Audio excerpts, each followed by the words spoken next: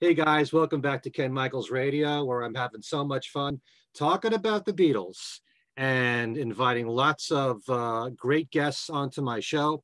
I'm very excited about this particular show because, with my background in radio, I like to invite people on that I've had a past with and reunite with them. And that certainly is the case with my special guest this time. It's JC Haze.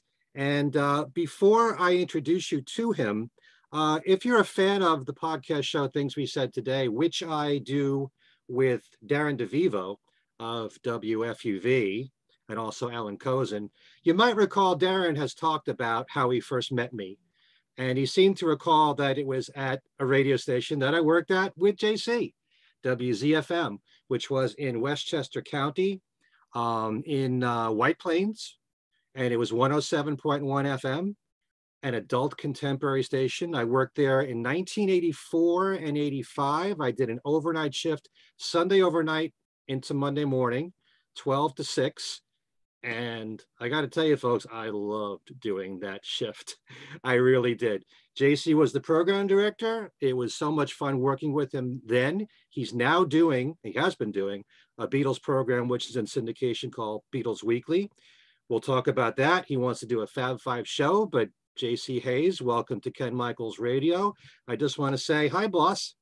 that that ended a long time ago, Ken. Uh-huh. My gosh, it's been too long, man. I mean, we should have done this a long time ago. Sure. Well, with Zoom, we could do this anytime.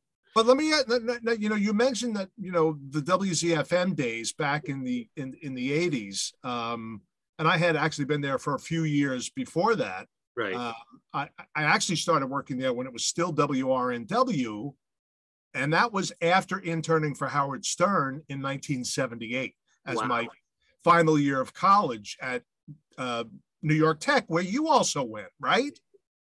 Yeah. So, so did we not? Did we not connect at WNYT, New York Tech? No. Or were you? I was at New York Tech from 1979 through 82 and I really didn't get involved with the radio station until like 81. Okay, I'm glad you said that because I'm thinking I don't remember Ken from college. Yeah. so uh, the memory is actually not too bad on this one. But that's uh, funny, you know. There's there's so many connections that we have in radio. WRNW, which is where Howard Stern used to, he was a program director there. Yeah. We were a progressive rock station. Yeah. Okay. So that must have been a blast working for him. But also at the station was someone that I didn't know until I worked at WDHA, used to work there, and that was Curtis Kay. Curtis Kay was doing mornings when I was interning. Yeah, great guy. Yeah. One of my yeah. favorite people in radio. He was terrific. And before that, I mean, when I got there, she was gone. But of course, Meg Griffin, yep. who is a huge Beatlemaniac, uh, uh, and is you know on Sirius XM, and I still love Meg. I used to listen to her when I was in college, right. uh, you know, when I was a baby wannabe DJ. Uh, still have the utmost respect for Meg uh, and Howard too. I mean, look at what he's done for God's sakes. Sure. I don't know why. Did, why didn't I ride those coattails a little longer? but actually, you know, funny thing is, Howard helped me get my first job in radio. Wow. He, he had a he had a pal who was a program director at a little AM station up in Rockland County, New York, WGRC, Okay. The guy's name was Al Citarella. And I think um, I think Howard went to college with him. So, you know, he kind of knew him. And mind you, at this time, Howard was not a superstar. Howard was working at R&W, a little a little house in Briarcliff Manor, New York. Um, so he he reached out to Al and said, "Hey, I got this guy who's uh, just graduating college. Um, you know, he's pretty fun and he's a good guy. Check him out." I called Al Citarella. He called me. Um, uh, he called me back, and then we met, and he hired me. And before I knew it, I was doing full time at my first radio gig. Thanks, Howard. Yeah.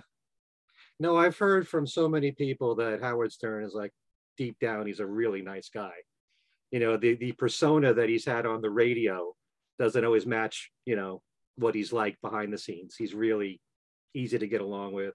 He is. He's a pisser he's a pitcher. I'd love to love to reconnect with him, you know, one day. So yeah, we had we had fun at WZFM, and then you know after that I went up to Albany and did some work there, and then came back down to the New York Metro and worked in Stamford, Norwalk, Connecticut for a while Mm. in radio there. I had an oldie station there, of course, tons of Beatles. Um, Beatles always tested well on those oldie stations. I mean, you Mm. could never play enough Beatles. And that's what kind of, um, you know, being a lifelong Beatles fan, that's what kind of got me into the, you know, the mindset of creating my own Beatles show. But so many other people did it. I said, ah, why should I do it? Mm. You know, so I didn't really come around to it till I'm going to say recently Right. right. um, with the show Beatles Weekly that I do now. Um, I guess I've been doing it for eight years.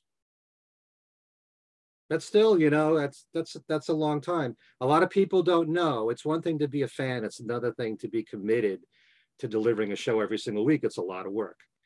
It is a lot of work, and and I I kind of I kind of cheat, Ken.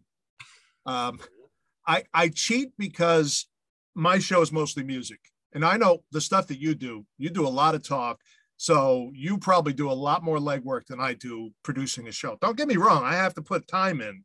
Right. every week because the show's called Beatles Weekly.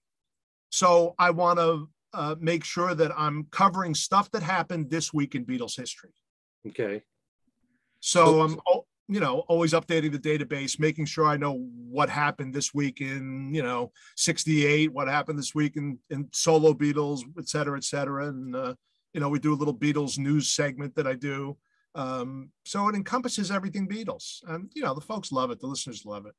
So every show is really taking a look back at this week in Beatle history through the decade. Yeah.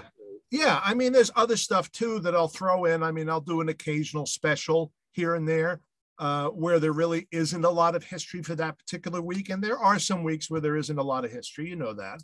Hmm. Um, but gosh, when you look back at the archives, there's, I'd say, out of 52 weeks of the year, there's probably 40, 40 weeks with lots of good stuff, especially with the solo Beatles Mhm. you know, I find myself more and more saying, wow, there's look at all this stuff. And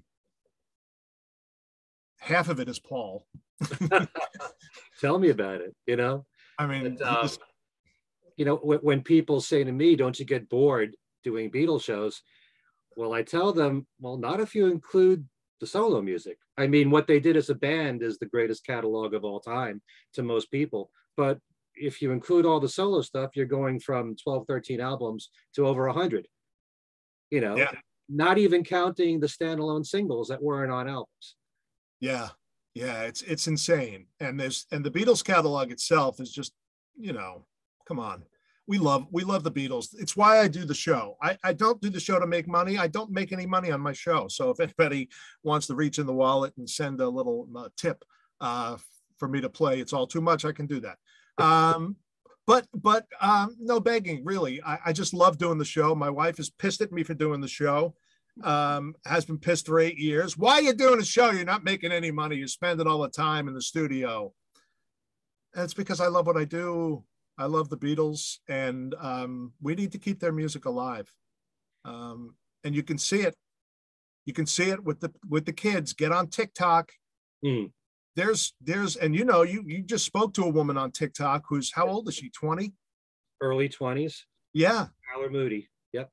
she's fabulous. Mhm. there are there are young people, guys and girls, who are just huge Beatle fans, and they're continuing. You know, just letting everybody know how terrific the Beatles were, and um, sometimes teaching me some things. I, I, you know what?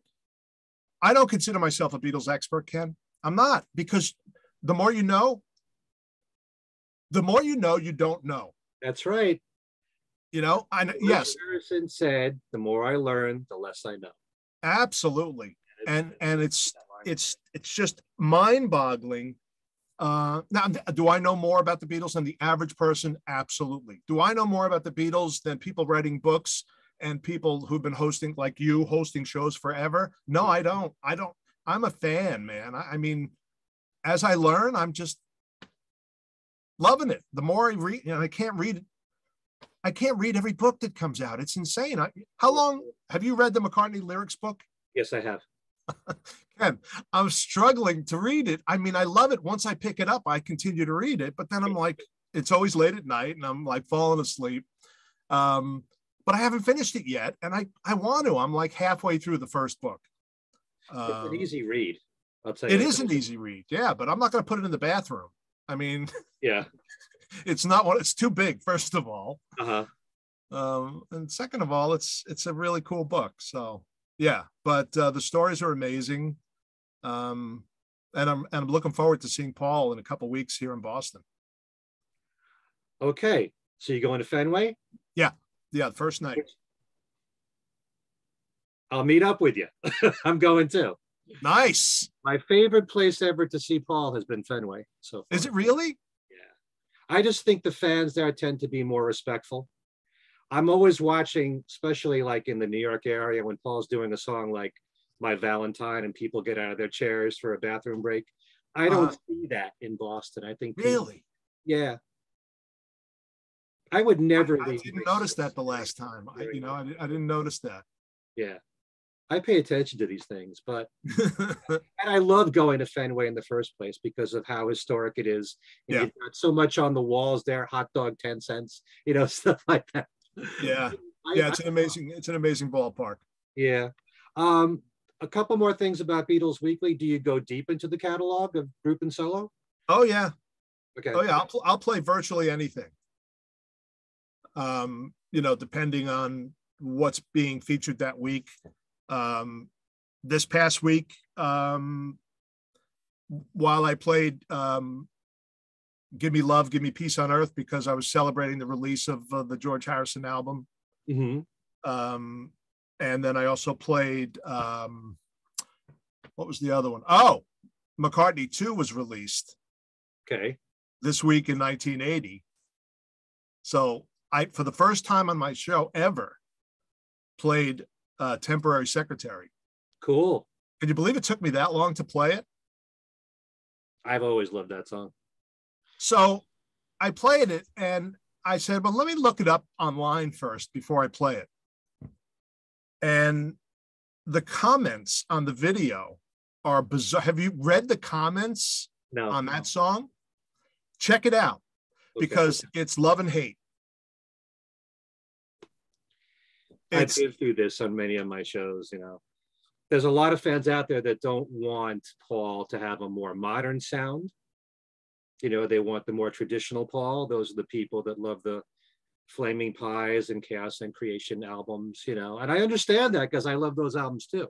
Yeah. But I also like when Paul experiments and does the DIY stuff. Press to play is a favorite of mine. Yeah. Driving Rain, parts of that. mhm. There's always division amongst fans. So but that song in particular, um, you know, what is this piece of junk? uh-huh. you know that people are just oh this is the worst thing that paul has ever done and it's embarrassing. And and then there's other people like this is why he's a genius. To come out with something and and you know it's got 1980 written all over it. Uh-huh. but wow was kind of ahead of its time because it was only 1980 Right.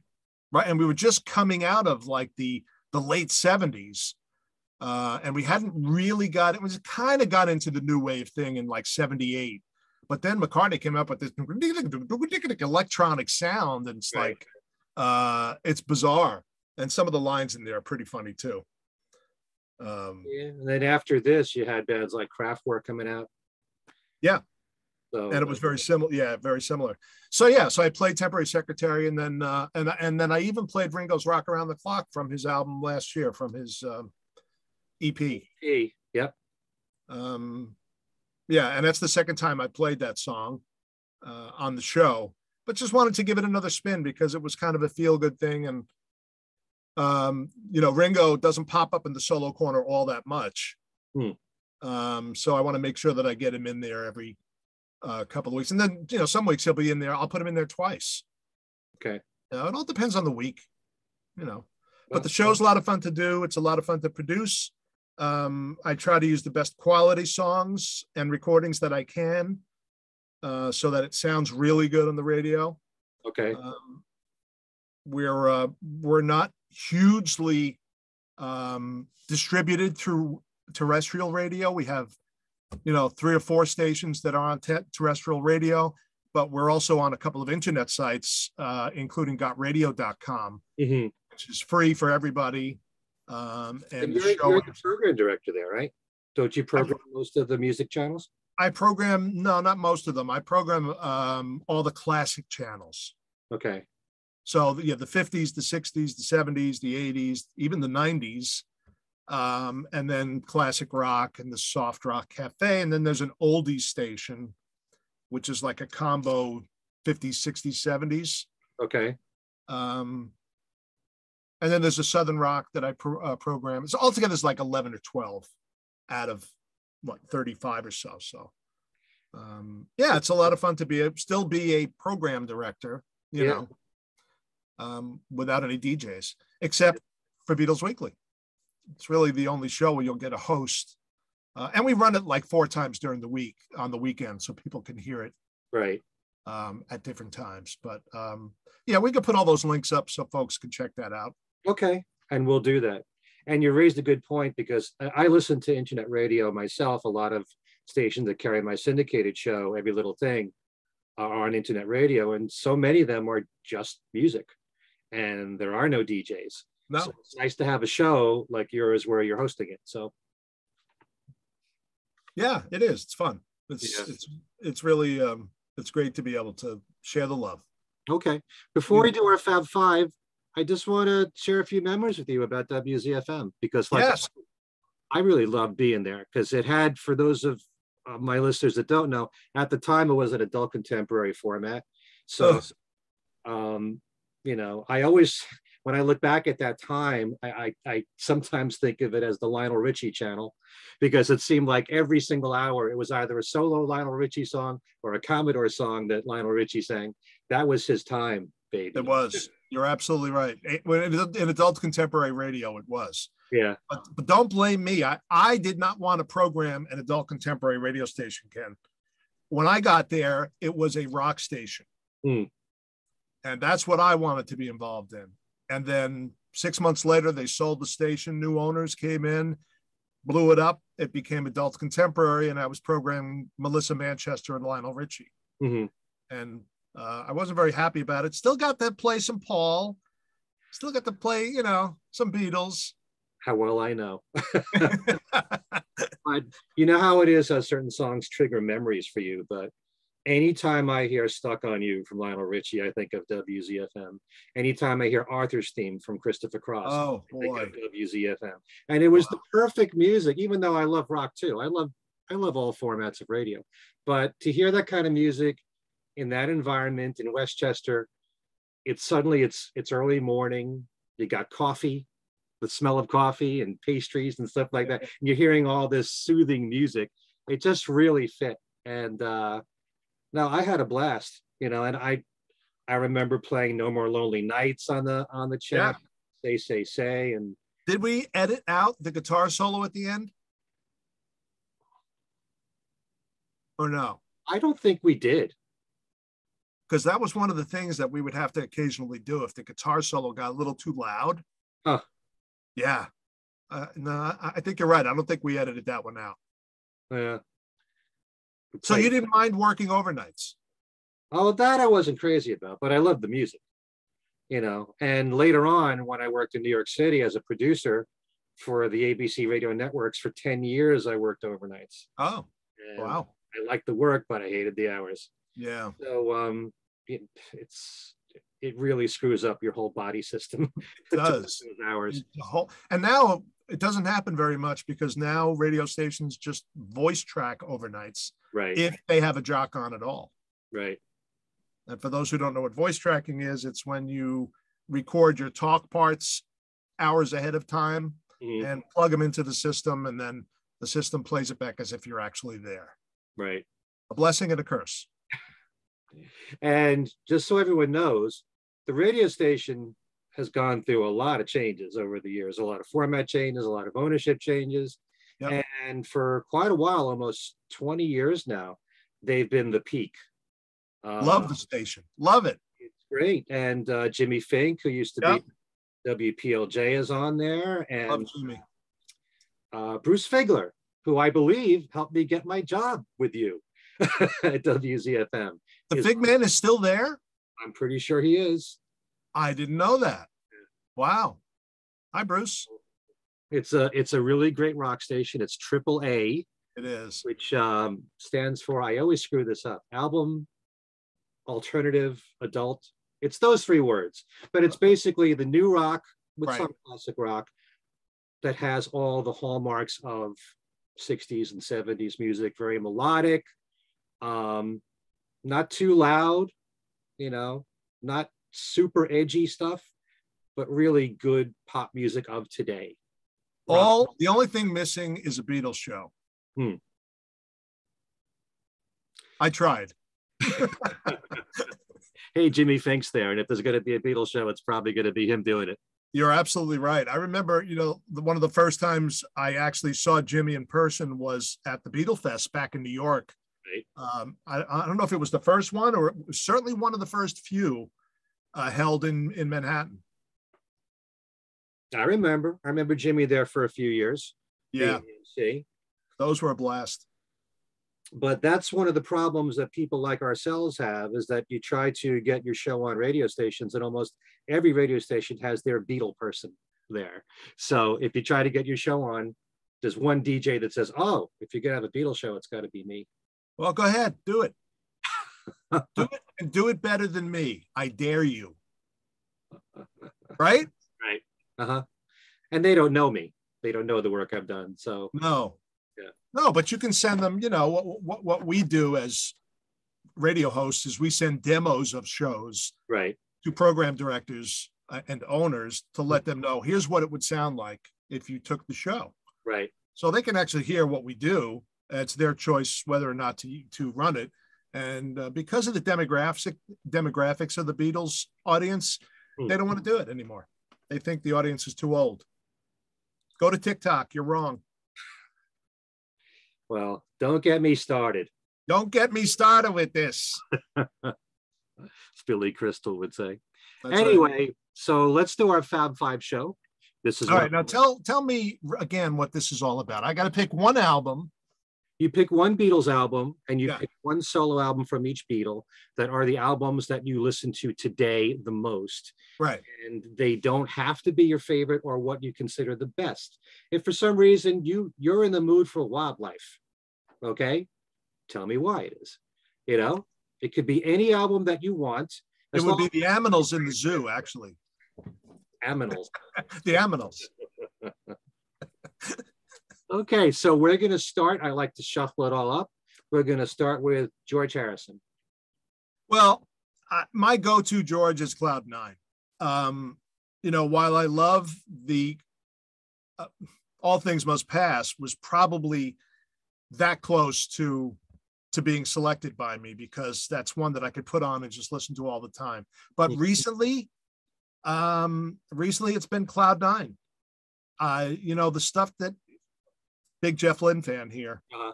Save the Beatles on anthology. Big Jeff Lynne fan. Um, I can't. I I would just put that CD on and just listen to it. I absolutely love it. Obviously, the big smash was got my mind set, but you know, this is love. When we was fab. Come on, Mhm. could that be the greatest George Harrison post Beatles song? There's a lot I like more than He's poking fun at the Beatles I know. while also embracing love. right. and and you know here i go i'm going to go back to um to jeff lynne again look at what he did with that album Mhm. some people aren't fans i know that and and and we're kind of um disappointed that that jeff made the beatles sound like elo but what are you going to do i mean jeff is jeff he he brought it to tom petty they had a huge a huge partnership and had big hits Right. he did it with Roy Orbison. He did it with the Beatles, and um, he's got a stick, and it works. So, yeah, um, Devil's Radio and and and got my mind, and so I keep going back to that one. I, you know, the songs are fun. the The mood is good. The production is incredible. Um, and George is really cool too. And and the relationship with with George and Jeff and his son Danny Mhm. uh, continued, you know, afterwards when they worked on Brainwashed. And I think wasn't Cloud Nine George's last album while he was alive? yes. Yeah. Album, yeah. Um, Not because the other Traveling Traveling Wilburys. Uh, yeah, that's true. Traveling Wilburys too. Let's not forget about that. Yeah. Um, so yeah, I'd ha- I'd have to go with um with that, and plus, you know, um, the usual characters were there helping out, right? Ringo, I think, played hmm Gary Cloud Nine. John. Um, who else? Keltner, Yep.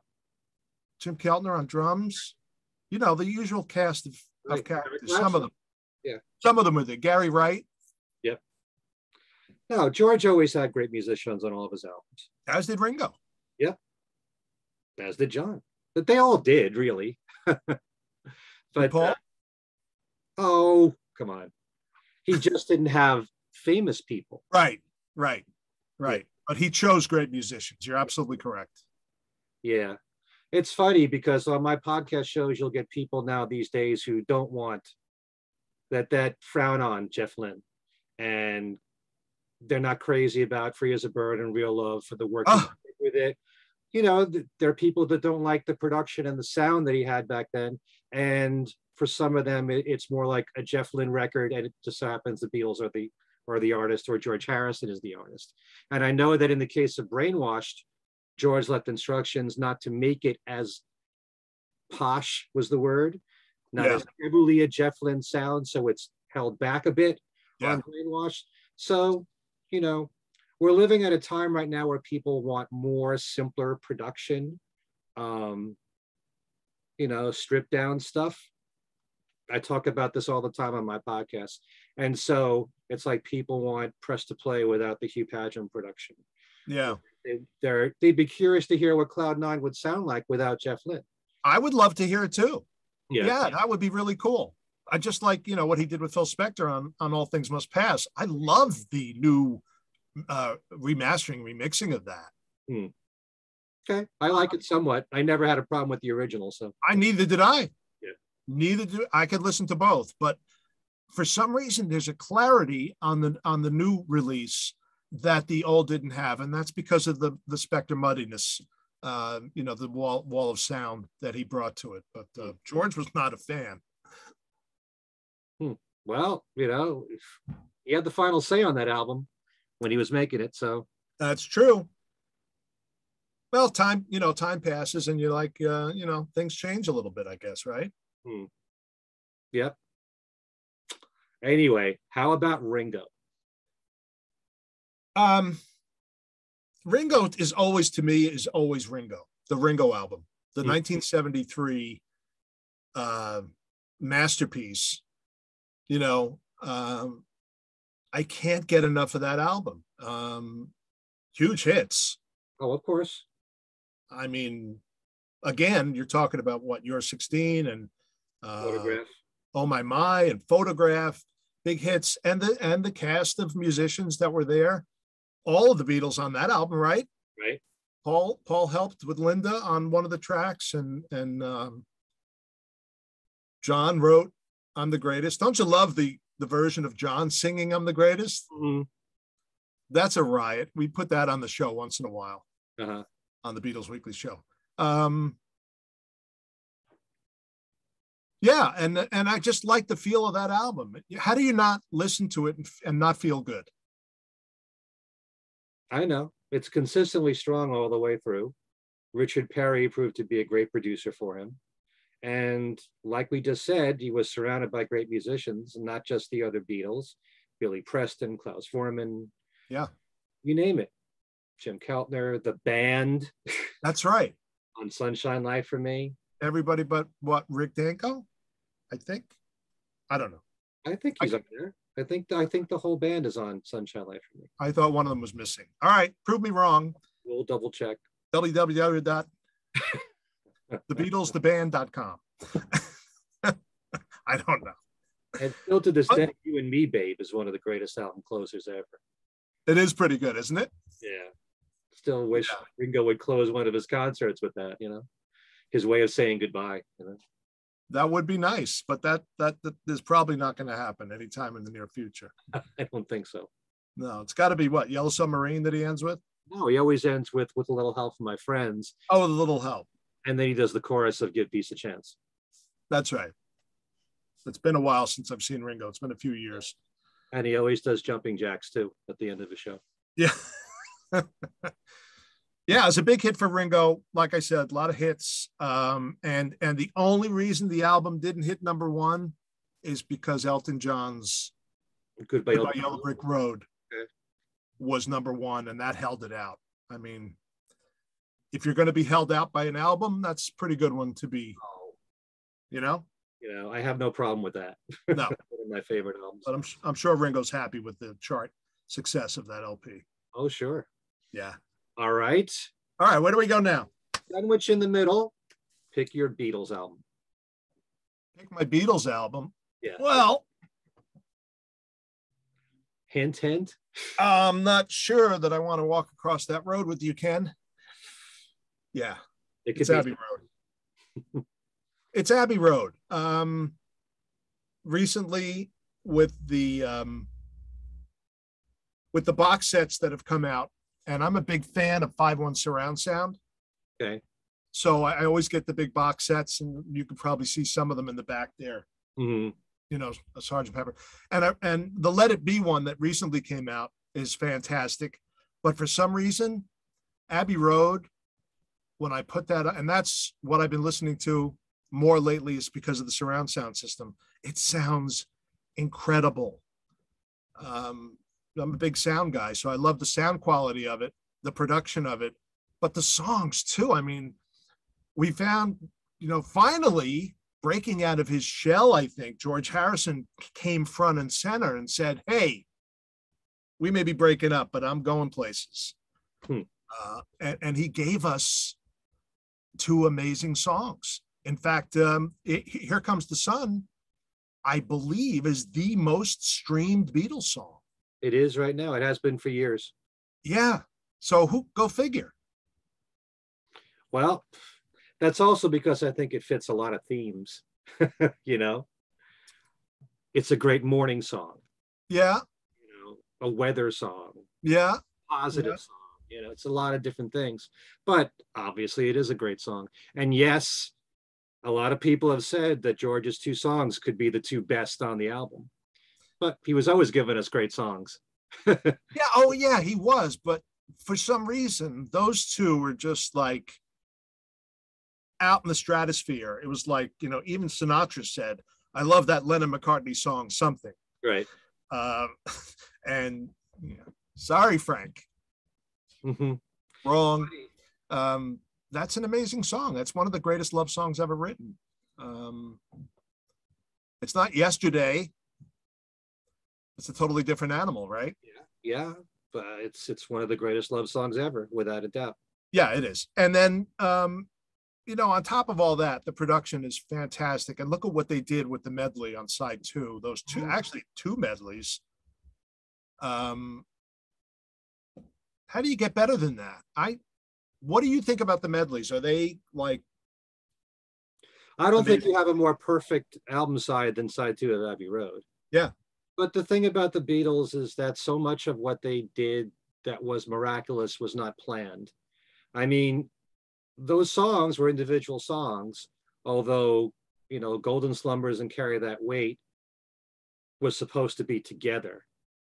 Even though you watch the Get Back documentary and Paul's just working on Carry That Weight alone. Yeah, But- you, you study the box set and you you discover that they recorded two songs together at a time. You know? But yeah, in the very beginning they're just individual songs. How do you know they're going to flow like that?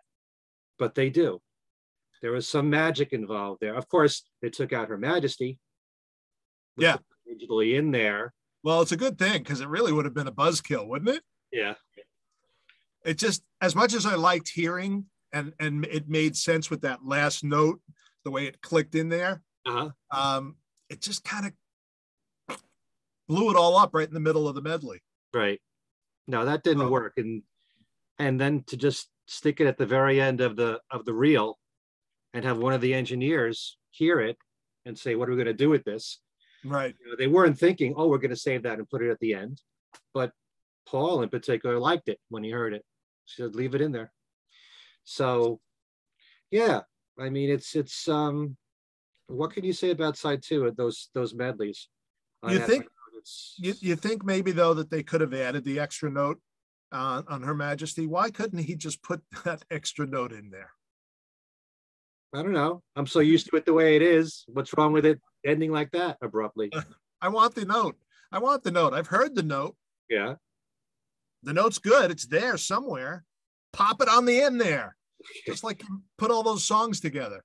Uh, Uh, but yeah, I mean the medley is is absolutely incredible. And then you know, the carry that weight in the end thing is just like the golden slumbers, and it's a perfect way for Paul to end his shows, uh, and a perfect way for Abbey Road to end too. It's Yeah. um, I can't get enough of the album. It's tough to pick one album, but that, like you said, it's it may be my favorite this week.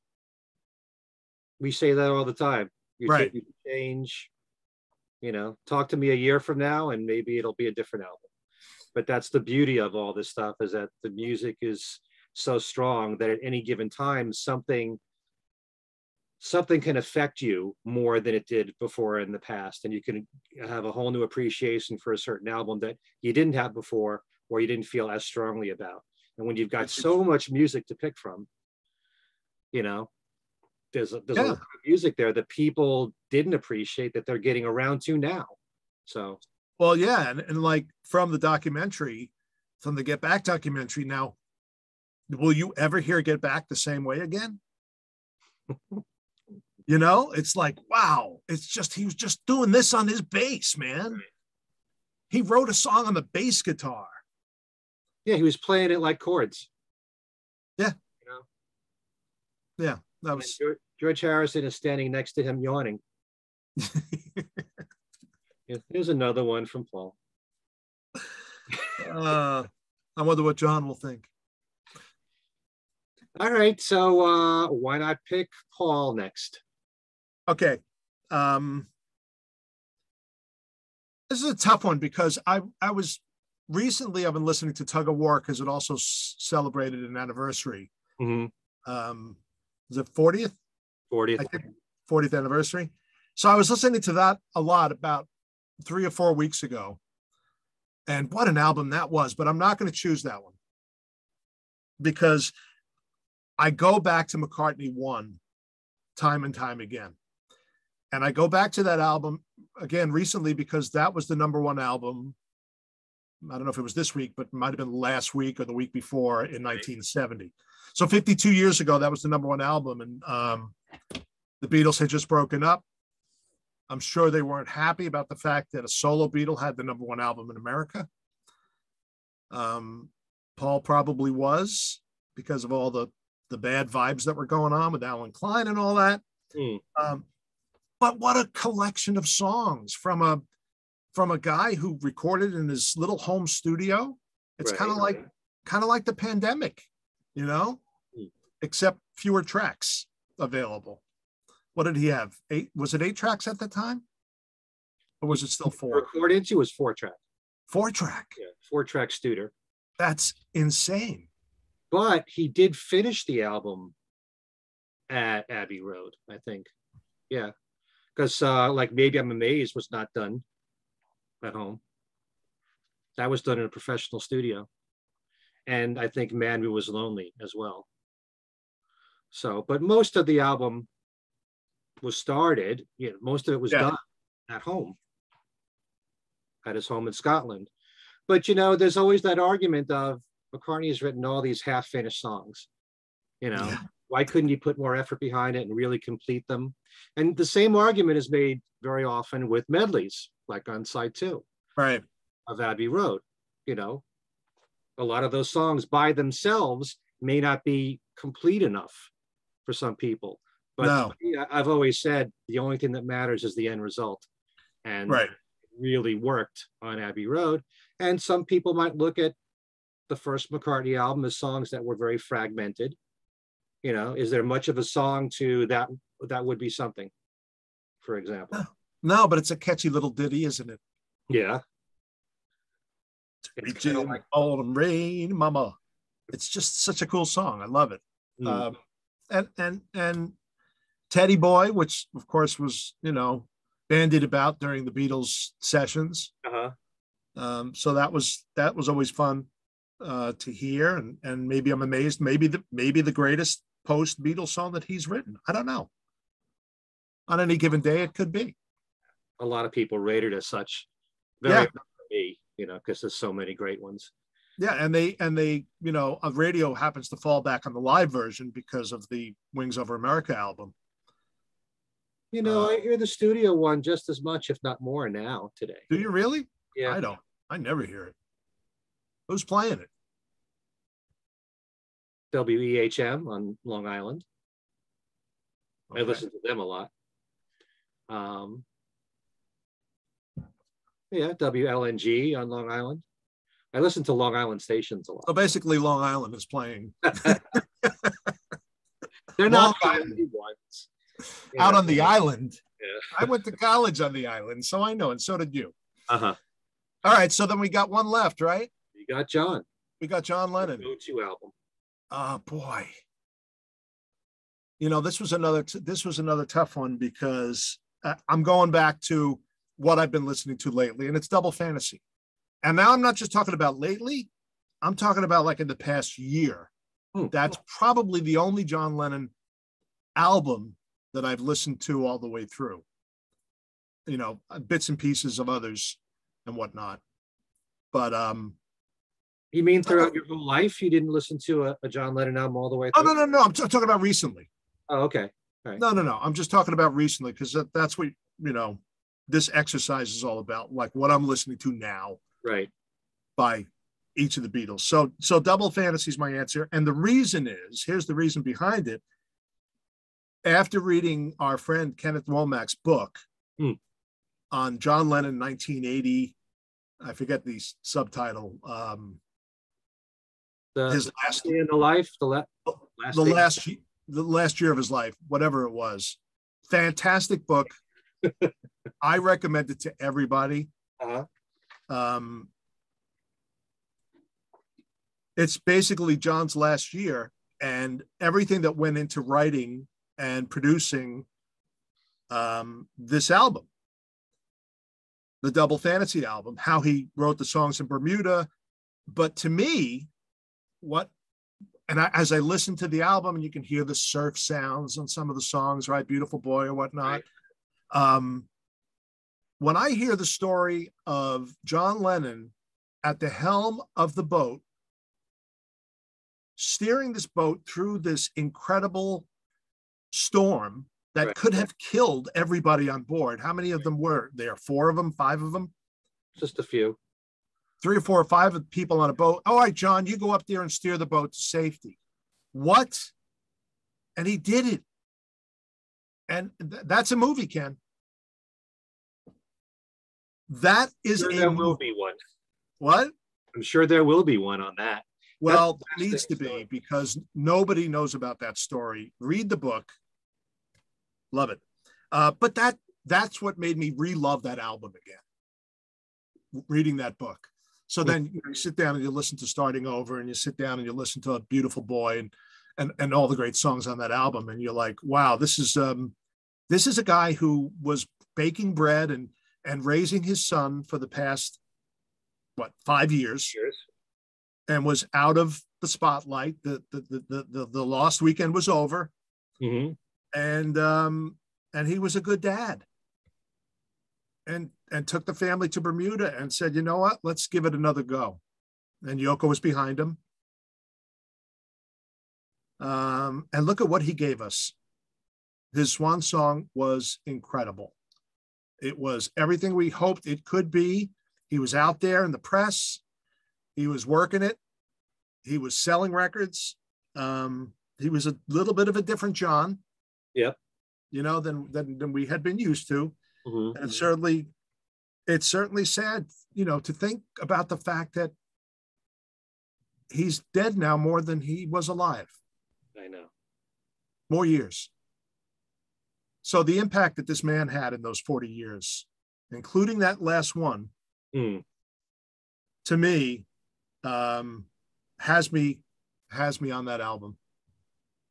Yeah, I I um I love it. And and and aside, I'm also a big Cheap Trick fan. So knowing that Cheap Trick worked on "I'm losing you Right. with John is is a bonus to have that available as a a bonus track here or there. I forget where it is. Oh, it's on the John Lennon anthology box set. The the anthology. Okay. Yeah. Uh, and I actually played that on my show a couple of weeks ago too. It's just a, a kick butt rock and roll song. Great riff, uh, really good stuff. So that's my John Lennon album. That's cool. I'm glad to see the love that you gave to Double Fantasy because usually these days, a lot of people they always point to Plastic Ono Band and Imagine. Yeah. To see that in the podcast shows that I do, a lot more respect is given to Mind Games and Walls and Bridges, which makes me very happy. Yeah. Um, but I don't hear enough about Double Fantasy, and I do think certainly in the case of, I think Woman is one of the greatest songs ever written. It's probably my favorite Lennon solo song. Is it really? Yeah. Yeah, it's a beautiful, it's a beautiful track. It's a gorgeous tune, and I think "Watching the Wheels" is one of the greatest songs. Yeah. Yeah, and wow, what a truthful song that is.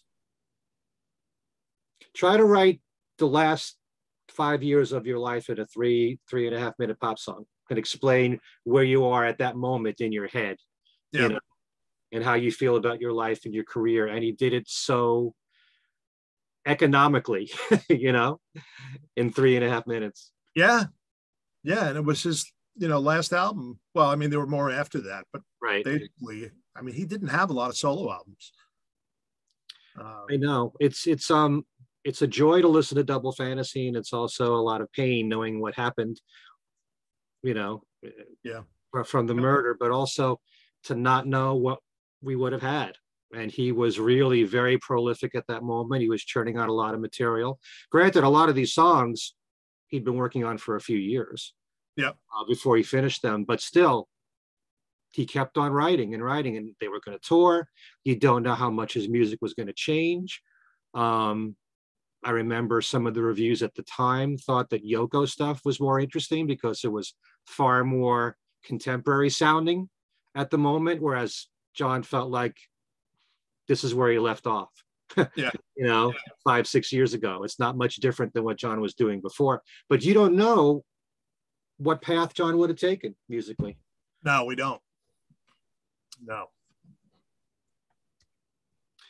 But anyway, uh, so this has been great spending time with you here, JC. And Yeah. I'm going to provide links here in the description box if people want to know more about. Well, there's Beatles Weekly and there's Got Radio, and anything more you want to share with with my uh, viewers.